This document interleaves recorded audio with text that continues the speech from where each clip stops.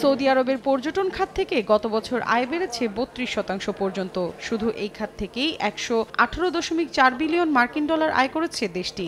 সম্প্রতি লন্ডন ভিত্তিক প্রতিষ্ঠান ওয়ার্ল্ড ট্রাভেল অ্যান্ড ট্যুরিজম কাউন্সিলের প্রতিবেদনের বরাত দিয়ে এ তথ্য জানায় মধ্যপ্রাচ্যের সংবাদ মাধ্যম আরব নিউজ। প্রতিবেদনে বলা হয়, সৌদির অর্থনীতির এগারো দশমিক পাঁচ শতাংশ আয় আসছে পর্যটন খাত থেকে।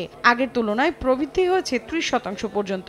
এতে কর্মসংস্থান সৃষ্টি হয়েছে প্রায় সাড়ে চার লাখ, যা আগের বছরগুলোর তুলনায় চব্বিশ শতাংশ বেশি।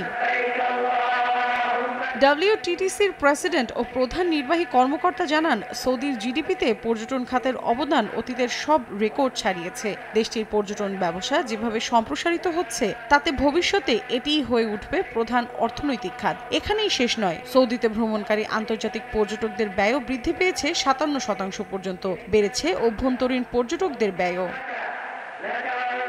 পর্যটন খাত থেকে সৌদির বর্তমান আয় চারশো চুয়াল্লিশ দশমিক তিন বিলিয়ন সৌদি রিয়াল। ডব্লিউটিটির ধারণা দু হাজার চৌত্রিশ সালের মধ্যে পর্যটন খাতের এ আয় গিয়ে দাঁড়াবে আটশো ছত্রিশ দশমিক এক বিলিয়ন সৌদি রিয়ালে। মৌসুমী সাথী, সময় সংবাদ।